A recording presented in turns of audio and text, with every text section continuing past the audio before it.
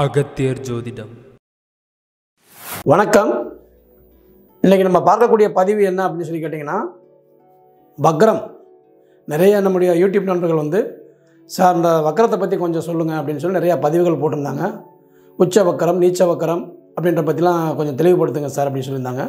இன்றைக்கி அதை பற்றியே நம்ம வந்து அந்த வக்கரனுடைய நிலையை தான் பார்க்க போகிறோம் முதல்ல வந்து வக்கரம்னா என்ன? அதை முதல்ல தெரிஞ்சுக்கணும். முதல்ல வக்கரம் என்பது கிரகம் வந்து பின்னோக்கி வருவது.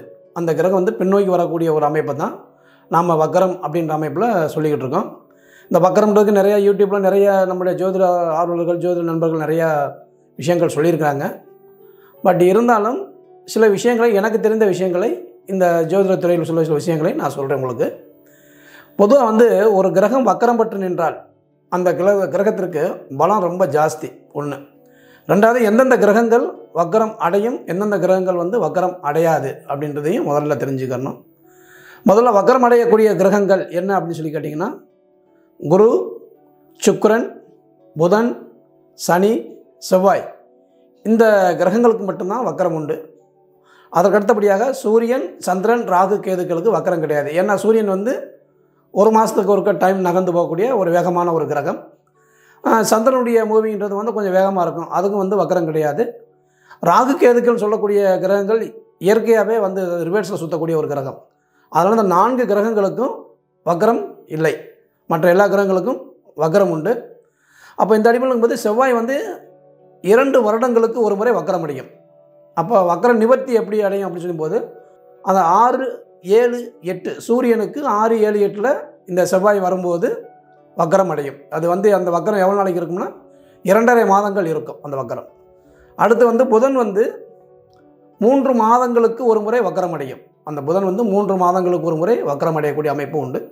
குரு வந்து ஒரு வருஷம் சுற்றக்கூடிய ஒரு கிரகம் அப்படின்றதுனால குரு நின்ற ராசிக்கு குரு நின்ற ராசிக்கு ஐந்தாம் இடத்தில் அந்த சூரியன் வரும்போது அந்த குரு வந்து வக்கரமாகுது. அது ஒன்பதாம் இடத்திற்கு போகும்போது வக்கர நிவர்த்தி ஏற்படுது. இது வந்து குருவுக்கு.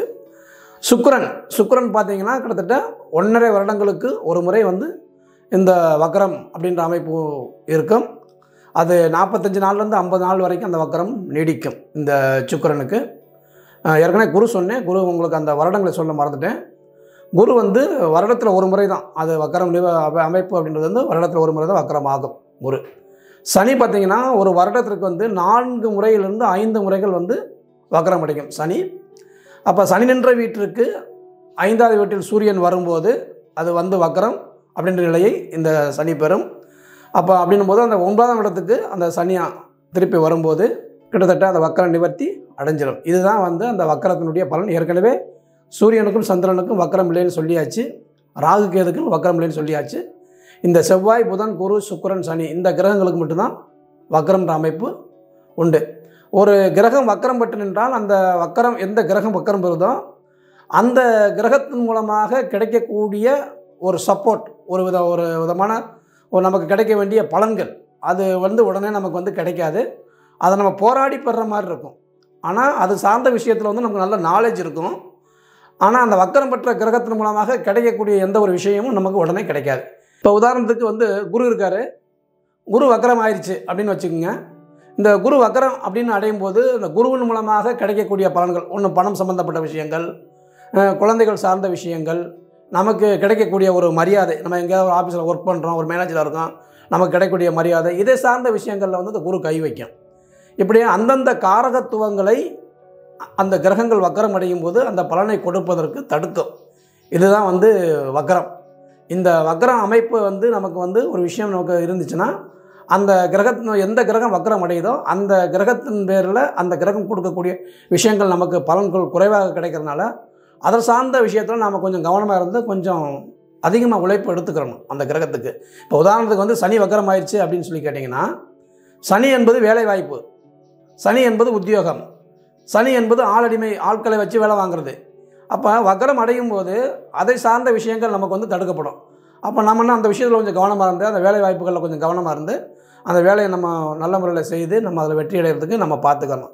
இப்படி தான் ஒவ்வொரு கிரகங்களுக்கும் ஒரு விதமான அந்த மாதிரி பலன்கள் வக்கரம் அடையும் போது இந்த பலன்கள்லாம் ஏற்படும்.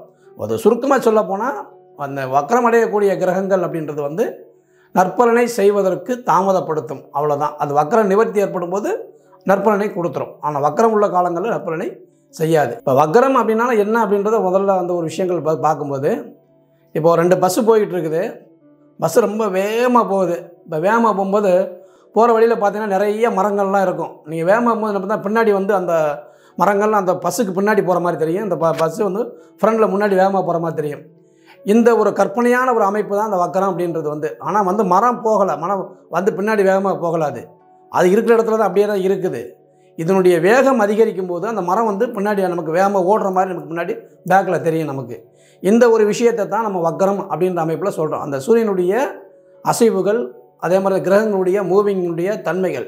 இதை பொறுத்து அந்த வக்கரம்ன்ற நிலை வந்து அங்கே ஏற்படுது.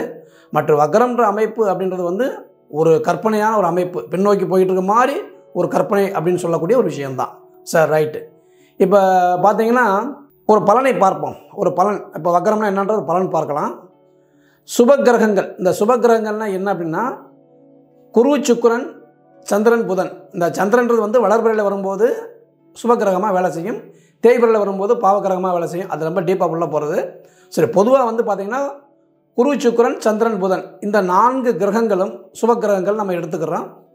இந்த கிரகங்கள் ஒரு லக்கணத்துக்கு கேந்திராதிபதியாக வந்து அந்த கிரகம் வக்கரமாயிருச்சுன்னா அதுக்கு நற்பலன் கிடையாது. அந்த நல்லா புரிஞ்சுக்குங்க. இந்த நான்கு கிரகங்கள் மட்டும் கேந்திர சுபக்கிரகங்கள் ஒரு ஒன்று நாலு ஏழு பத்தில் இருந்து அந்த கிரகம் வந்து வக்கரம் ஆயிடுச்சு அப்படின்னா அந்த பலன் வந்து நற்பலன் கிடைக்காது அந்த ஜாதகருக்கு. ரைட் ஒரு பாயிண்ட் நெக்ஸ்ட்டு வந்து பார்த்தீங்கன்னா ஆறு எட்டு பன்னெண்டுக்கு உடையவர்கள். ஆறாம் இடத்துக்கு அதிபதியோ எட்டாம் இடத்துக்கு அதிபதியோ பன்னெண்டுக்கு அதிபதியோ லக்னத்துலேருந்து தான் கணக்கு ராசிலேருந்து கணக்கு கிடையாது இது. எல்லாமே லக்னத்தை நான் பேஸ் பண்ணி தான் சொல்லிட்டு இருக்கேன். லக்னத்துலேருந்து எண்ணி வரக்கூடிய பாவம் ஆறா எட் ஆறு எட்டு பன்னெண்டுக்கு அதிபதி அந்த ஆறாக வர்றாங்களோ அவங்க வந்து கேந்திரம் என்று சொல்லக்கூடிய ஒன்று நாலு ஏழு பத்தில் வக்கரம் பெற்று நின்றால் அவங்களுக்கு நல்ல பலன் உண்டு. அப்போ ஆறு எட்டு பன்னெண்டு கூடியவர்கள் வந்து கேந்திரம் பேர்னால் நற்பலன் உண்டு. அது வக்கரமானால் நற்பலன் உண்டு. இந்த விஷயம் எடுத்துக்கணும். அடுத்து வந்து பார்த்தீங்கன்னா சுபக்கிரகங்கள்.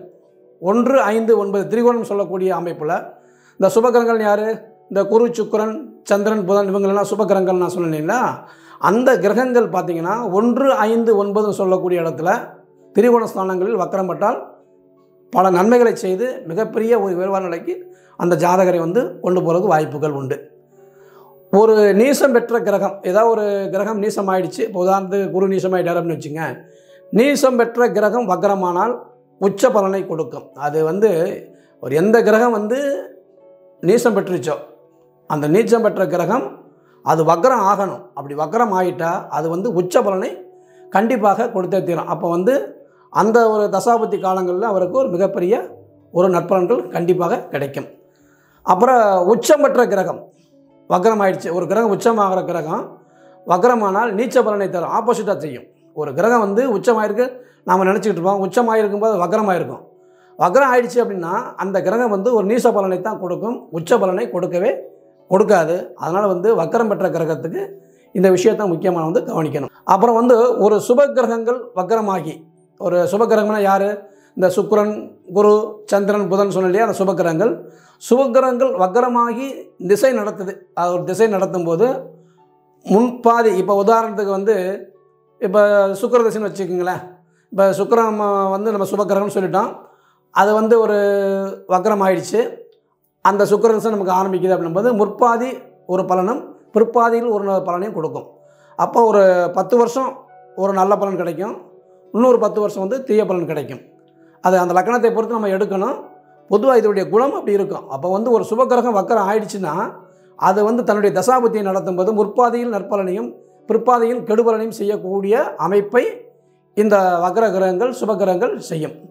அதே மாதிரி ஒரு ஜாதகத்தில் ரெண்டு கிரகம் வக்கரம் பெற்றுச்சுன்னு வச்சுக்கோங்க. ஏதாவது ரெண்டு கிரகங்கள் ரெண்டோ மூணு கூட வச்ச வக்கரம் வர அமைப்புகள்லாம் இருக்கும்.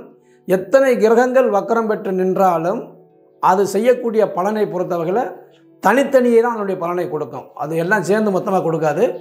எந்த கிரகம் வக்கரம் பெற்றிருக்கோ அந்த கிரகம் அதற்கு தகுந்தாற் போல ஒரு பலனை தனித்தனியாக அந்த பலன்களை அந்த தசாபத்தி காலங்களில் கொடுக்கும் அப்படின்ற விஷயத்தையும் நாம் தெரிஞ்சுக்கணும்.